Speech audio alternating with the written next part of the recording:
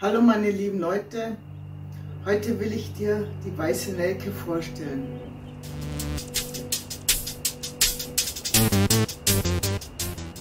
Hier ist die weiße Nelke.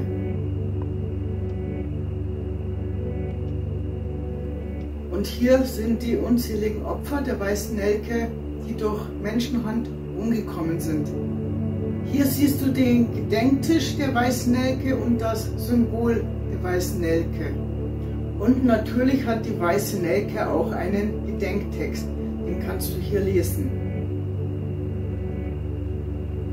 Die Gedenkstätte Die Weiße Nelke wurde von der Silke Ruttenberg von Animal Peace ins Leben gerufen.